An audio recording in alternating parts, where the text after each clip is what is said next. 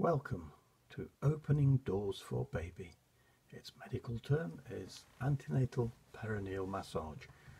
We're mimicking the massaging action of baby's head before the start of the birth, but without using a baby's head. So a less traumatic birth for baby and for mum, possibly saving brain cells for baby and pushing dementia and Parkinson's further into old age, which is what Muhammad Ali had from the trauma caused by boxing, early onset dementia and Parkinson's. And this statue is here to remind me, in my view, that women should remain beautiful undamaged by birth. So if we now go to the next, we minimize that we have a Peruvian birth education clay figure. It appears in uh, Reducing the Fear of Birth in US Culture in Ina May Gaskin's talk. Um, she effectively is a Nobel Prize winner who introduced midwives to the Amish of Pennsylvania and described the Gaskin maneuver that dislodges an impacted shoulder. So here we can see how super elastic the pelvic floor can be made to become where it, together with the overlying skin, moves out of the bony pelvis, maximizing the opening for baby's head. How is this achieved?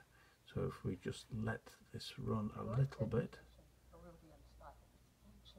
we have a Peruvian brass educational figure. Now we can clearly see that the brass figure shows the use of four fingers of both hands, index, middle, ring and little fingers to maximally widen the opening for baby of the lower tummy. Um, and then we'll go to our model. Here we have a model.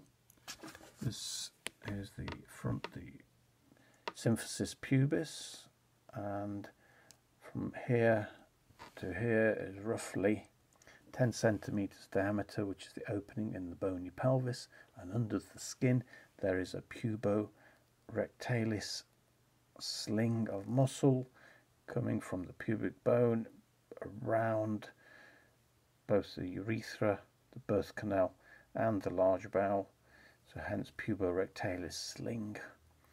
And the best time to make uh, start on opening doors for baby or antenatal perineal massage, my view is 16 weeks. The skin is minimally pigmented and you can employ your partner.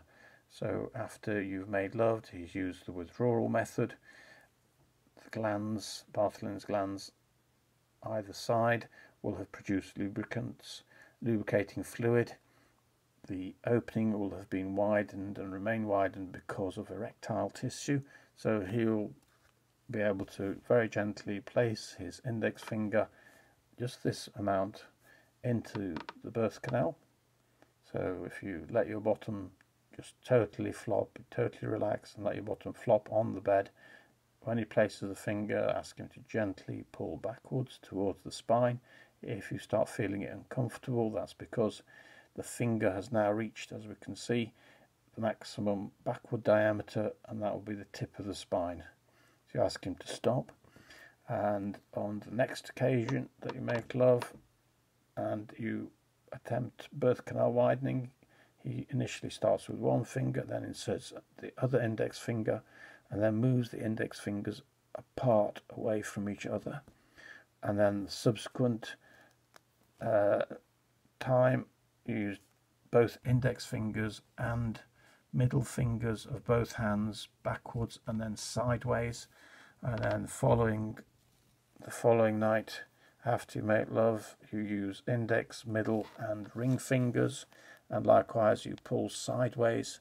And then on the sixth night you using index middle ring and little fingers inserted into the birth canal and pulled to maximize that opening for baby's head. So what is effectively achieved is that the fat underneath the skin of the labia majora either side of the opening of the birth canal becomes massaged and displaced from the edge to the periphery, from the edge to the periphery. So the skin is transformed into paper thin skin, very stretchy skin, and also you're stretching the fibrous coats of the muscles that make the pelvic floor, both the pelvic floor muscle, which has an upper and uh, lower coat of fibrous tissue, and the shelf, the urogenital shelf, which likewise has an upper and lower fibrous coat. You, you are stretching the four fibrous coats of the pelvic floor without using a baby's head, preparing the lower part of the birth canal for baby to have a more gentler, easier birth, a shorter birth for both baby and mum. If you prefer to do the massage yourself, opening doors for baby, Oxford describes mum standing on a closed loo with one foot on a on the toilet seat of a closed loo, gently placing her thumb into the opening, pulling backwards. On the next occasion, using two thumbs to pull backwards, and then following that, using index fingers backwards, index and ring fingers of both hands, and then index, ring, and middle fingers of both hands, and then all four fingers of both hands to widen that opening maximally for baby to 10 centimeters diameter before the start of the birth. It must be painless. If you're causing pain, you're starting to tear the tissues and they will heal by scarring and scars shrink with time and that will narrow off the opening which is not what the technique is aimed to do. After birth of baby, the fibrous coats once that pelvic floor has let baby out and then close back up to function as a pelvic floor again, the fibrous coats will scar will become more rigid, more fibrous, and it, the, the, pelvic floor muscles will become a very effective pelvic floor again. So, with the next birth, you need to repeat birth opening doors for baby. Once it's achieved 10 centimeters, keep repeating it every two weeks so the fibrous coats don't scar back up. And whenever baby comes, whether it's at 28 weeks, 32, 36, 40 weeks, 42 weeks, then the tissues are elastic, super elastic, like knicker elastic, and do not obstruct baby exiting mum's tummy, but actually shorten that birth for mum. So that is birth canal widening in a nutshell. If we go back to our screen, what else have we got? Was there anything else on? Uh, oh yes, there is a Christian church, which is a church in Wales of the 11th century, and birth educational figure. I missed it. We're going back. Men can be doulas. I've known of it to happen. But what they're doing is they're keeping a calm atmosphere. This is about, they'll slow down the pace. I'm allowed to see this. Could you imagine seeing that? This is, people There's the you don't want women to be afraid. So, birth educational figure.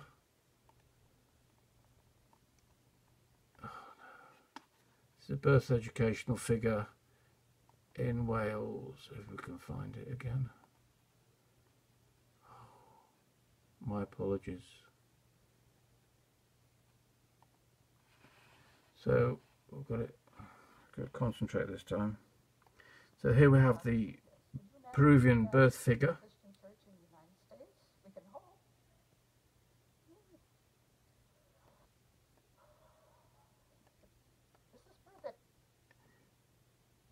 This is the birth educational figure on 11th century Welsh church, clearly showing the use of four fingers of both hands.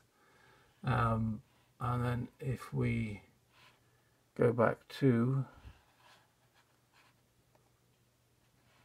the next, this, this one, subsequent, this is the Botticelli figure uh, Botticelli, The Birth of Venus, uh, the goddess of love, uh, coming out of the pearl shell, stretching.